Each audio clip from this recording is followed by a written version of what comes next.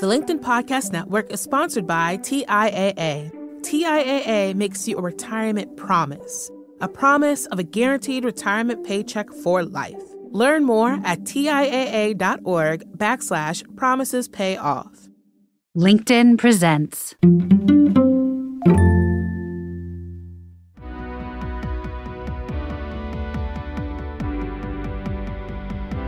I'm Morra Aarons Mele, and this is The Anxious Achiever, the show that looks at the intersection of mental health and work and how we can all do both better.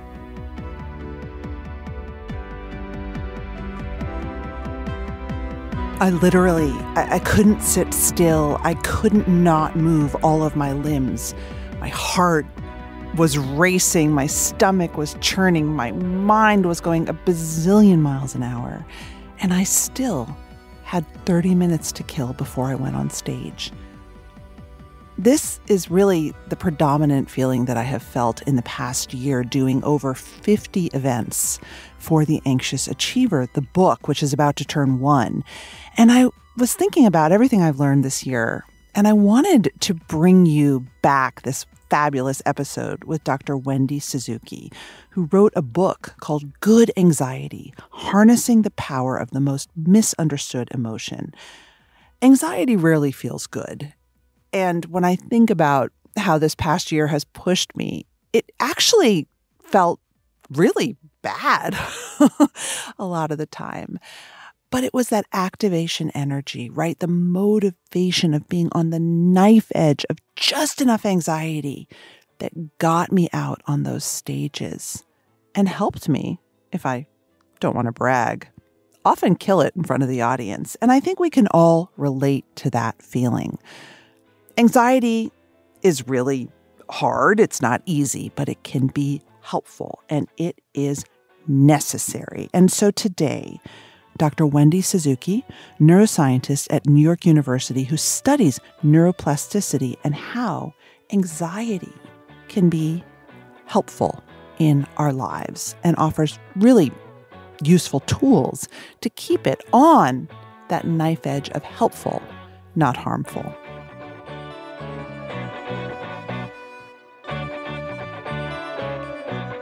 Well, I want to dive right into good anxiety. I have to admit, when I saw the title of your book, I was like, I did a little happy dance and I love the book. But oh, thank you. Yeah, let's dive right in. What is good anxiety? I call anxiety good because, from an evolutionary perspective, the emotion of anxiety and that underlying physiological stress response that always comes with it it actually evolved to protect us. This is the big headline of the book, Why I Call It Good. So at its core, anxiety is protective and even critical for our survival.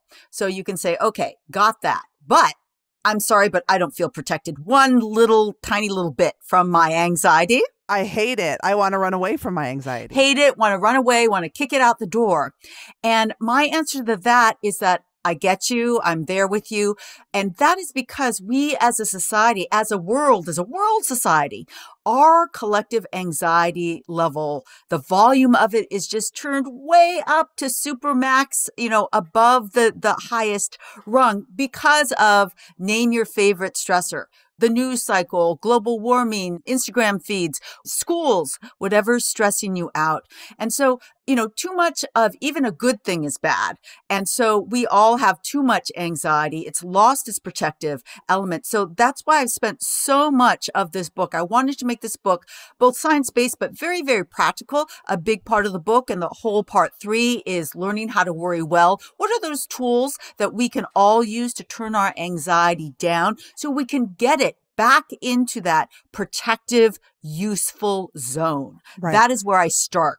So anxiety is good because it alerts us. You say anxiety yes. is data.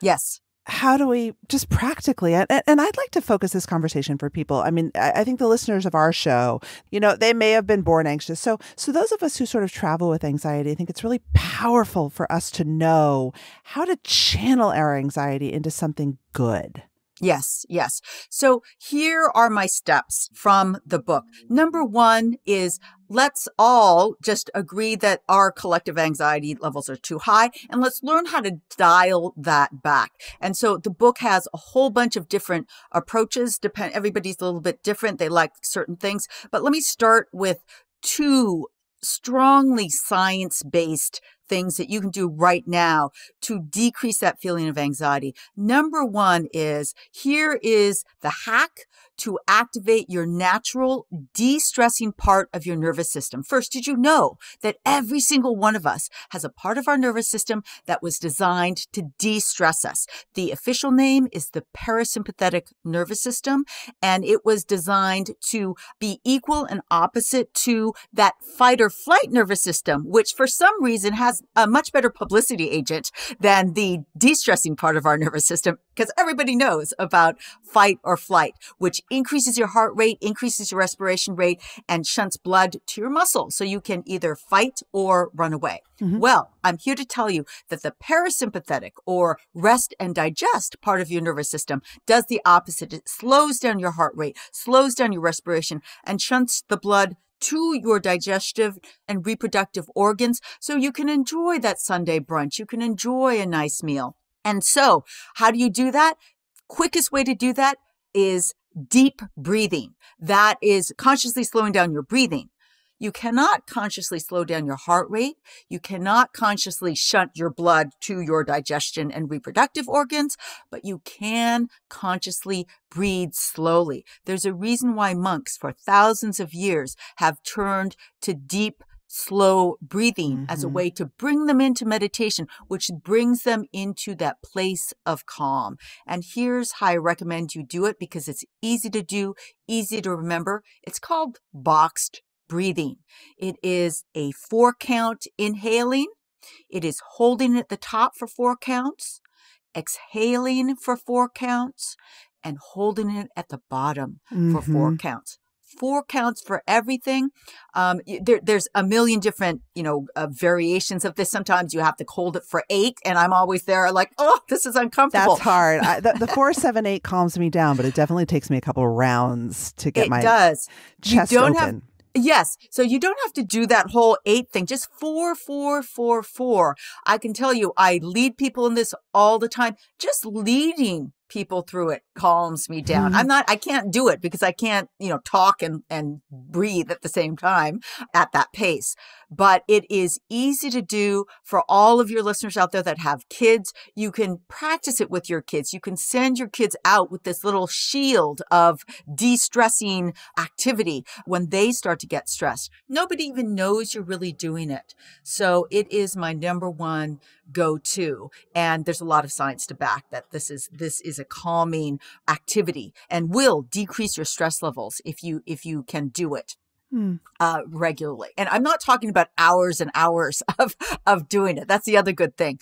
Just a few rounds, you will feel that calming effect of just slowing your breathing down in this kind of very measured way. It seems to me that you're of the school that there is a place where our body brain space is engaged enough, right? We're sort of alert and we feel just stressed enough to maximize our attention and our focus. This right. is controversial because I think some scientists will say any anxiety is just our monkey mind acting up and it's a habit and we can calm it down. But you disagree with that, it seems. I disagree with that because, you know, this activation energy that comes with anxiety, it is an activation of the brain. And just for my own, not just mine, but, you know, think about when you performed the best. And mm. for me, it is when I was nervous. I was a little bit scared. This was a big moment. That's not to say that I haven't gone too far over and gotten too scared and then and then all hell breaks loose and I don't do well. But there are many, many examples in my life and in the book because I am my own best example of anxiety and when it works and when it doesn't. So my example in the book is I was giving a big talk to a huge audience at Olympic Stadium in Moscow, Russia. Wow. And it was the biggest audience that I had actually walked out on. And not only that, I had I was on day two. Day one was Richard Gere, the actor, and Malcolm Gladwell. No so big I'm deal. day two. It's like no big deal.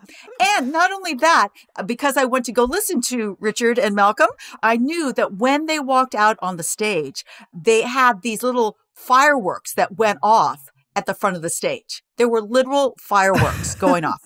And so I was like, oh my God, not only am I talking to the biggest audience, there are fireworks. And I was so glad that I saw that because that would have freaked me out even more if I saw it for the very first time. And so you know, I wanted to do really, really well. I was worried that, you know, the translation of my talk into Russian, that they, they all had little earpieces. It's like that wasn't going to work. They weren't going to like it. And there were these fireworks. And so I remember that feeling behind the stage. They were messing with my microphone and I was getting ready. And I'm like, okay, Wendy, you are going to give a talk that is worth fireworks. what do you have to do to make your talk worth fireworks. And I used that thought, spurred by that activation energy, which was fear, to give a great talk. In fact, I got applause after the line that came at minute two of my speech, which was exercise is the most transformative thing that you can do for your brain. They started to applaud. Wow. I'm like, oh my God, that's going really well. So so that's okay. So let's talk about what your brain was doing while your brain Yeah. was, was was channeling that good anxiety, that that fear. What is your brain doing then to make you perform? Yeah. So, you know, there is this Dodson law of, of brain activation where if you want to perform at your max, you are not at your couch Netflix level of activity. I'm Right. sorry. That just does not work. Also, you might be happy on the couch watching Netflix, but that level of, of activation that is brain and body activation will not help you perform well. You need to get that energy and that energy comes from a little bit of fear, a little bit of activation, and that can come from your own anxiety because part of what your anxiety is doing is reminding you, hey, you are in front of an audience in a foreign country at a huge venue right after the day after Malcolm Gladwell gave an amazing talk. You better step it up. Yeah. Yeah, what are you going to do? That is the reminder. And that's what my stomach and my anxiety tummy was telling me. And that pushes us up to the activation level that psychologists have told us will be our max. Now, the danger is we all live on this knife edge because if it goes too far, then, oh my God, I forgot. What was the first line I was going to say? Uh, what, what, what comes next? Um, because we know that stress and high levels of stress hormone can literally interfere with the performance of your brain's hippocampus, critical for long term memory. That's helping me just remember that overall outline of my talk. Mm. But, you know, how do you stay on that knife's edge and Yes. stay focused? And what I say is practice. Put yourself in those situations. Know what it feels like to use that activation energy. And I've been there enough that I crave that. If I'm not nervous before a talk, it's like something's wrong. Am I taking this not seriously enough? Because I know I'm not going to have that energy. I'm not going to generate that energy. So it is being able to use that energy. In fact, call on your anxiety. Where's that fear? Where's the fear? Because I need that fear to, to motivate me. And then how do I practice living in that fear, in that activation to keep myself on that track that gives me energy, but doesn't, uh, you know, spill over. And it is practice. And if you find that you are spilling over, do you apply breathing? Do you apply techniques to bring it back down a little bit? I mean, is it that malleable? Yeah. So, you know, everybody has their own method. So what happens to me is I find things that motivate me through these kinds of public speaking experiences that, that many people find very stressful. So focusing on somebody that's nodding their head, that's smiling, that I seem to be connecting with and ignoring the bored person that is texting. Hmm. And those are very valuable tools that I have just kind of noticed myself doing automatically because other people will focus on that texting person and say, Oh no, I'm losing them. Right. Or maybe you you have lost them and maybe there's nobody that you see.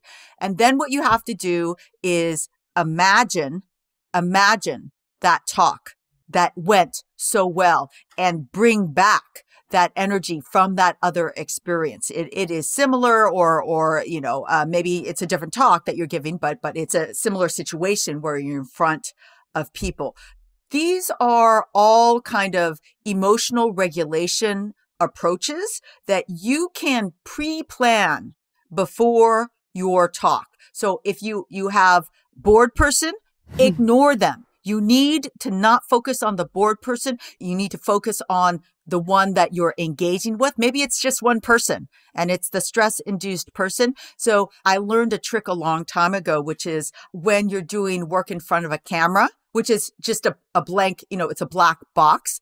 You imagine the person, the head of the person that you love talking to, that always inspires. And I literally did it. It transformed my experience because I literally pictured his face, a colleague of mine that I always love talking to, always has great feedback, always listens beautifully well. And that is a powerful technique that anybody can use and, and substitute. Okay. Now you have to use your powers of imagination. Substitute that sour face right. that is coming from your anxiety inducing person that you're talking to with the face of the person that is always really engaged and lovely to speak to. In your book, you tell the story of a woman you call Monica, who is very successful. Yeah. And I really identified with her because she sort of has these obsessive tendencies that lead her to worry and question a lot. But yeah. she sees that it's a it's a business asset and that when she's under pressure. She's identifying ahead of time the pitfalls. I call this seeing around corners, and I think yes. it's a real superpower of anxious achievers. Right. But yeah. you write that her her what if list, which is just anxiety, right? Like what if this happens, is really a tool that helps her do a more effective and complex evaluation of any business proposition at hand.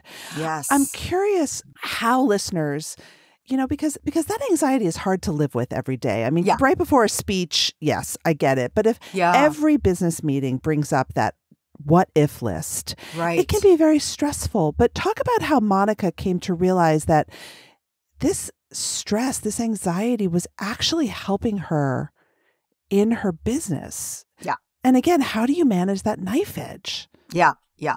So Monica was inspired by a lawyer that I met at a dinner party. Mm. It was a hmm. birthday party while I was writing the book. And so I was telling this uh, very high powered lawyer that was bo- writing a book about anxiety. And her first words out of her mouth was, ah, well, I'm the high paid lawyer that I am because of my anxiety. I, I've used it for years and years. And I said, Oh, do tell. What, what's your secret? So she said, you know, I've always been anxious. In fact, lawyers are paid to worry about all these possible things. Well, she right. took it to heart and yes, it weighed her down. But what she realized is that what she can do is instead of just obsessing over all the worries, she turned every single one of those worries into a to do. And so the worries were about, you know, she was defending somebody. What if the other lawyer comes with this strategy, that strategy, the other strategy? What if the judge does this, that, and that? These are all things that came up in her lawyer mind, but that are addressable. Mm. Or she could decide, okay, actually that one, it probably will not be, but, but let's order them and let's address them in order, making her check all the boxes. And I love using that example because you can see that all of those worries, having a great argument for each one of them would make her a, a wonderful lawyer. And now I ask everybody, uh, every one of your readers, uh, readers, listeners, uh, I'm an author, a book author, I'm not a podcaster. So all of your listeners, what can they do to transform that what if list for their children's school, for their professional life, for their family life, for their love life, you know, into things that you can do to address each one of those concerns. And you start to realize, whoa, I, I would really, I would be really on top of things if I did all of that. I would feel more in control. I would feel great. It would actually take up my time. So I didn't have time to worry about them because I was too busy taking care of them. And I love that image because it transforms for me in a second the worry and the just the wasting of time yep. that comes with anxiety into immediate productivity and that is my number one superpower of anxiety in terms of the understanding of it and the immediate, you know, application of it. So that's the superpower of productivity that comes from your own form of anxiety. So, how do you cultivate that? I mean, I think, oh God, that sounds so appealing. I mean, I love the idea of shifting the rumination and the restless energy yes, yes. of the what if into something good. Do you literally sit down and write? What is the process? So here's my process because this was one that is so common for me. Mm-hmm. Uh, right before I'm about to fall asleep, I bing, you know, there's, yep. oh, what if I didn't do that? Oh, I didn't do that well enough. Oh God, you know, they, they're not happy with this, or maybe they won't be happy with that. And so then I would be up for hours worrying about that, couldn't shut it off. And don't get me wrong, I still have that come up. But what I do now, because I've practiced it, is I tell myself the next morning, I am going to take care of each one of those and I'm going to do something mm. about all of these. So I note them in my about to go to sleep mind and and it does the more you do it and of course you have to do it if you mm-hmm. if you don't do it the next day then then it just keeps coming up because i noted it i did it the next day it's like ah i i have a plan mm-hmm. i know that's going to be done i don't have to worry about it right now. So it is starting a new habit, starting something good and, and having success at it. Did that feel good at checking things off? And I don't know about you, but I love making lists and then like checking it and like scribbling it out because that is done.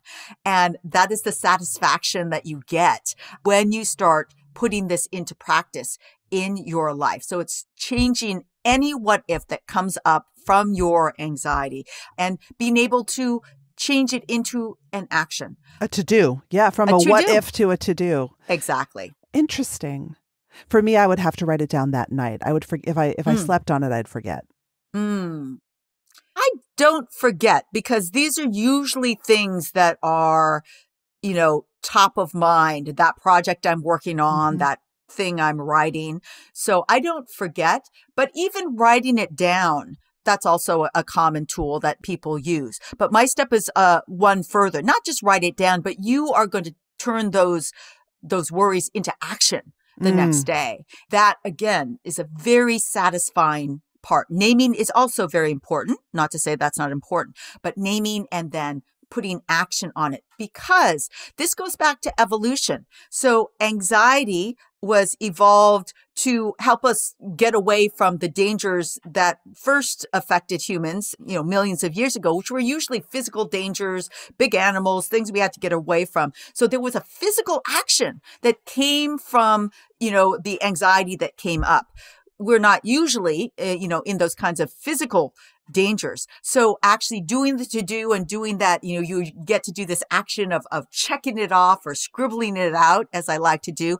That is satisfying. That helps satisfy oh, that makes that sense. long lasting, that, you know, evolutionary cycle of cause and effect of anxiety. So instead of run, it's more like put it, oh, I, that makes a ton of sense. It's do it, do it now. The LinkedIn Podcast Network is sponsored by TIAA. In the last 100 years, we've seen financial markets swing, new currencies come and go, decades of savings lost in days, all showing that a retirement plan without a guarantee, quite simply, isn't enough. So, more than a retirement plan, TIAA makes you a retirement promise. A promise of a guaranteed retirement paycheck for life. A promise that pays off. Learn more at TIAA.org backslash promises pay off. So let's talk about you. You write very movingly about changing your own mindset about money and scarcity Yeah. and risk. I think this is something that a lot of people can relate to because money was a real anxiety focus for you. And and, Yeah. and you wrote that I, I realized I had the power to calm my anxiety about money and it was a game changer. Anxiety was a warning system for you when it came to beliefs about money that kind of needed to change. How did you do this? the way that I did it was to really try and step back and take a bigger look. Hmm. I did it by having much more awareness and gratitude of what I have. And so the biggest way, always, even to this day, I, I still uh, deal with this, start to get, you know, worried and n- no need to worry.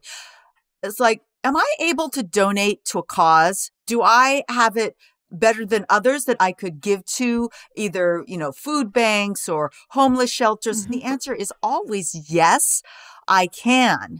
And so that ability to say, actually, I can use my own empathy to to say yes this is a big problem and actually when i look at it from that point of view yes i have this amount to be able to donate or or you know to to to give to all these different causes and that just shifts my worry over you know some ridiculous thing i'm worrying about um that maybe i may or may not need Hmm. to say actually i'm doing fine and also, you know, big failures where I did lose a big chunk of money and I was fine, but I was able to be grateful for that experience that I gave myself and to really live the idea, not just say it, that you learn much more from your failures, especially money, money related failures than you do from your money related successes. I think you learn very little from your money related su- Really? successes. Yeah. I don't know I if I so. agree with that, but okay. but I guess what you're doing is you're also holding the anxiety at arm's length and looking at it and asking it a hard question of Yeah. can you afford to do this? Yes. And so what is the anxiety about money really about? Yeah. For me, it was about culture. Hmm. My parents were always careful about money. There was always, you know, a fear that there wouldn't be enough. And if you grow up with that, and part of that is good. I've always been frugal and I've always been extra, extra careful with with money that I never want to get into a situation where I'm, you know, the don't have enough money. But you can take that concern and that fear too far so that you don't give yourself the option to do things that could be very powerful or or game changing for yourself because you're too afraid that maybe you know the checking account might go go down uh, to a level that you're you're uncomfortable with Yeah. so that's where I was. And, and I realized that I wasn't doing things that, you know, I could uh, afford to do that. Yeah, maybe they were a little bit of a risk, but there would be other ways to get out of that if the worst happened. If the worst happened. Yeah. And it's funny. I have this cookbook Mhm. Called Plenty. And I thought I have that need book too. a, yeah, I- isn't it a great, Great book, book. cookbook? Ottolenghi. Yeah, Ottolenghi, love him. So I love that word. It's a great title for a cookbook, but it was my new mantra Mhm. for my money mantra. Because my money mantra for so many years was, oh no, that was my mantra. And I changed that from, I, I first, you know, test the waters. What would it feel like if I changed it from, oh no, to plenty? Mm. Look, Wendy, you have plenty. You Mm. are doing so well. You are, you know, you are fine. And so what doors are you shutting because you are living like you're, you know, right on the edge of, of uh, bankruptcy, which is n- not the case and not at this level where you can use your money to do things that are powerful for you, powerful for your community, powerful for your life goals. And I thought, ooh, that sounds exciting. Let me try this plenty idea. And you know what? It was not only much less anxiety ridden? Because if your idea your your baseline idea about money is oh no okay that that that tends to spark anxiety. But if your mantra is plenty mm. you have mm. plenty. You're fine. In fact you have enough? Donate. What what can you donate to? Right. because you have plenty. That not only opens up this area of generosity that you were cutting off because you were too scared but it opens up all sorts of possibilities in the way that you can dream and create mm. in your life. What's the neuroscience there? I mean, are you habit replacing or I love first of all the image of going from which I think god I can relate to that too. Plenty. What's yeah. the neuroscience behind that? I love the psychology experiments on the power of mindset. Mm-hmm. And it is just the power of your belief system that changes not just how your brain is working, but how your body responds. And this is a great example because for me, for many different years, the idea of of money and whether I had enough would activate my anxiety and my stress system. I would start to get a little bit worried thinking mm-hmm. about money. Am I doing it right? Did I get enough on my taxes? Mm-hmm. And and it would actually make me like a miser in my own self image in, yeah. in, in my mindset. And switching to plenty, not only was it more true to where I was, but it it released me from this feeling of every time I thought or planned about money, having this natural stress and anxiety response to an opportunity to activation, not of my fight or flight response, but activation of my creative brain. Mm. Because what can I do with this power, which is money, which is power? that will be delicious and wonderful and inspiring. The studies on mindset don't address that directly, mm-hmm. but it's the same idea that that this power that has been studied not only shifts how you think about things, but it shifts how your body responds to things, like the idea of money. And that is very, very powerful. So, in that way, can anxiety foster creativity? Oh, yes. Actually, there is a whole chapter on creativity inspired by uh, my, my dear friend Julie Burstein, who wrote a book called Spark How Creativity Works. Mm. She was the mastermind behind Studio 360, which uh, they oh, interviewed yeah. so many, you know, wonderful artists. And she describes different kinds of creativity that so often start in fear, anger, heartache, even disability. So poets that had a lifelong dyslexia, but caused them to, uh, because of their dyslexia, they had to read 10 times slower, mm-hmm. which gave them 10 times more appreciation of the rhythm of language. And so really you start to realize, gosh, everything that's causing me anxiety, it's also an opportunity to to try and do things in a different way. Maybe this first direction isn't working. That's why I'm anxious. That's why I'm fearful. Mm-hmm. And I'm trying different things. And you read that book and you realize, wow, you know, maybe, maybe I'm the next, you know, interviewee on, on Studio 360 because boy, I have a lot of anxiety and fear. And she talks about the tragic gap, which is that deep, dark chasm mm-hmm. between where you are right now and what you want to create as a creative in this world. It does not exist. And you have this scary, scary, you know, task of creating that out of this chasm. And, and that goes for all the anxieties that come up in our lives. How am I going to create the family that I want? How am I going to create the job, my dream job from this crappy job that mm. I have right now? And these are all opportunities to create because those barriers are really opportunities to do something different, to do something in a different way, maybe do something in a way that nobody on earth has done before. The skill is being able to get just enough distance from the anxiety to say, this is data.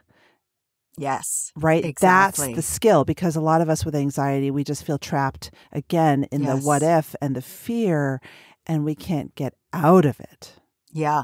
And that's why that's exactly right. And that's why I, I spend so much of the book on tools Mm. to decrease your feeling of anxiety. Now, note, I do not say I'm the promise is not get rid of anxiety Right. because anxiety is that little warning system, that directional system. So here's an opportunity to change something that that might not be working or to do something different. So you never want to get rid of it. In fact, you can't get rid of it. Uh, don't believe anybody who says they're going to get rid of all of your anxiety. It will always be there um, because it is a warning system. But what you can learn how to do is turn that volume down and with things like the box breathing that I talked about, Mhm. movement, moving your body is also a powerful way to decrease feelings of anxiety, depression, hostility. This Mhm. is research that I've done in my own lab. And the reason why that's happening is that every single time you move your body, you are releasing a whole bunch of neurochemicals in your brain. I Mm. like to say that every time you move your body, it's like you're giving your brain a wonderful bubble bath of Oh. neurochemicals uh, that include things that you've heard of, like serotonin, Uh-huh. dopamine, noradrenaline, endorphins. Those are the things that are making you feel better, that are decreasing your anxiety and your depression levels.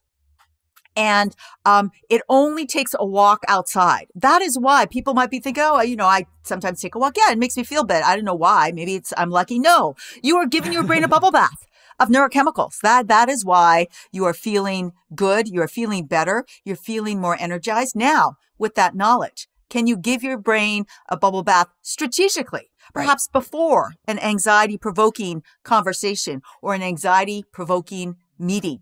Get your brain ready for that, at least in the first part of that. And then you can use breathing and, and other things, redirect your attention not to the frowny face and replace that frowny face with that, that imagined face of your best friend that is listening to you and giving you encouragement. All these different techniques described in uh, the How to Worry Well section. And that's that step number one. So, Wendy, tell me about the brain's attention network. Yeah, yeah. So attention and focus is so important. It is really based in our prefrontal cortex, that part of the brain right behind the forehead. It's a network. It's not just one brain area. A major part, and just for uh, simplicity's sake, is it is centered in the prefrontal cortex. This is your part of your brain that allows you to shift and focus your attention to different things that come up in your en- environment. You could either do it consciously, you know, if somebody says, pay attention to my finger, you can focus on the finger. But if a bright, shiny object pops up, that will automatically attract all of our attention. All of that is, is determined and it is enacted by the prefrontal cortex. And a lot of our anxiety, and I talk about it a lot in the book, is learning how to redirect Hmm. your attentional network from those anxiety invoking things that you're not doing anything about. They just feel like these big fears that you're kind of obsessing over to other things. We talked about action that you can do to address fears, Hmm. to uh, other activities, to ways that you can use your creativity to get around those blockages that might be the focus of your fears. Does anxiety hijack the attention network? Is that what's happening, or what's happening when when we're overcome with anxiety? When we're overcome with anxiety, there is a high level of stress hormones in our system, which will tend to shut down the Hmm. functioning of the prefrontal cortex, which is not good. You never want that because that helps you shift your attention where you need it. And also it helps you make decisions. Mm. Where does it go? Well, your brain's amygdala, Mhm. which is important and it's controlling your fear responses, tend to take over. And what happens there is your habitual, your kind of reflex responses tend to take over. Not always the best response. Sometimes it will help in, in a real emergency if you have to run out of a burning building. But often what you really want in situations like that are non kind of bodily dangerous situations is a good prefrontal cortex where Mm. you can use your focus, use your decision making skills at their height. And yes, too much anxiety is not good for that. But those of us with sort of generalized anxiety disorder, though I think you said actually can perform pretty well with a lot of flooding. Or what did you write? You wrote a high cognitive load. How does that all factor in? Sure, sure. So high cognitive load doesn't mean that you have a form of anxiety. It just means that you're doing lots of different things. Got it. First, the studies where they they give subjects either a high cognitive load, lots of things you have to, you know, read a passage and do some math, mm-hmm. or a low cognitive load. There's just a simple picture to look at. Something like that. That that's what it refers to. Got it. I got it. Okay. I found your writing on social anxiety and cultivating empathy fascinating. I've always seen people who I know with social anxiety and talked to and, and, felt that they have attunement that some other people don't. But how does cultivating empathy or even better, compassion become a superpower for those of us with social anxiety? Yeah. So that superpower came directly from my own oldest form of anxiety that I've had for a very long time since I was a little girl. Mm-hmm. And that is a form of social anxiety. So, mm-hmm. of course, I'm a teacher and a speaker now, so I don't have the fear of speaking in front of audiences. But I was a very, very shy girl, you know, elementary school, high school, college, shy, awkward, social wallflower. Hmm. I especially remember many years of suffering in a classroom because I wanted to interact. I, I, I was always interested in, in studies, but I was scared to ask questions in front of the whole class because uh, you know, the fear that the teacher would say, "Oh, that's a stupid question," mm. be completely wrong or or a mm, terrible question.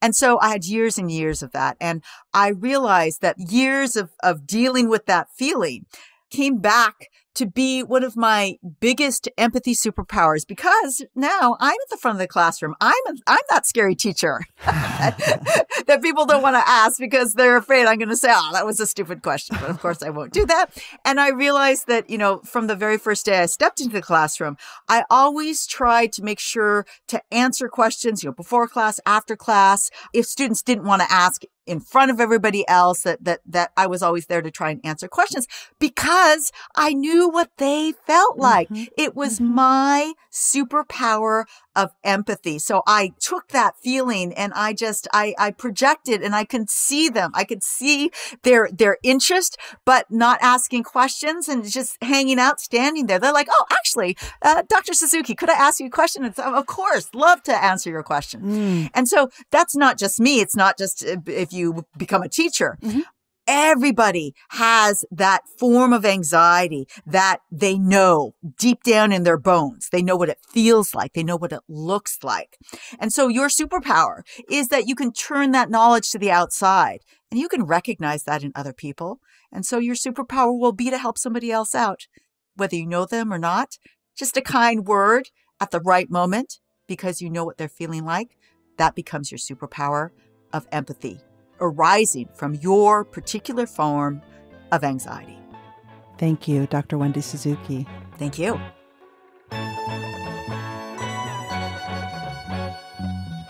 That's it for today. Our show is produced and edited by Mary Dew. Our assistant producer and sound engineer is Nick Krinko. Many thanks to the LinkedIn Presents family and to all our guests for sharing their stories. If you love the show, tell your friends. I would love you to leave a review because they really matter in helping the show get found. You could also follow us or subscribe. If you have a question for me or you want to submit an idea for the show, find me on LinkedIn where you can follow me, message me, I promise I'll write back, or subscribe to my newsletter for more from the anxious achiever world.